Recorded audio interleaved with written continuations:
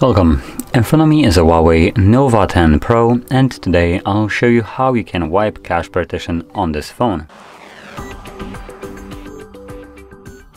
Now to get started we will need to turn off our device by holding the power key. Disregard the pop-up. Select power off and when the phone turns off you want to hold power and volume up at the same time.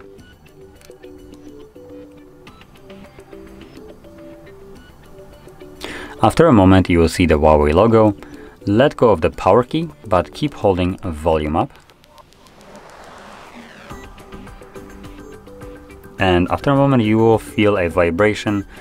Once you do, you can let go of volume up as well.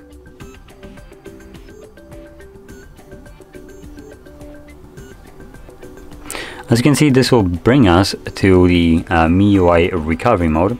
So in here you want to select clear data and then select wipe cache partition. This will format cache and it's already finished so we can now select back and restart which will bring us back to our operating system.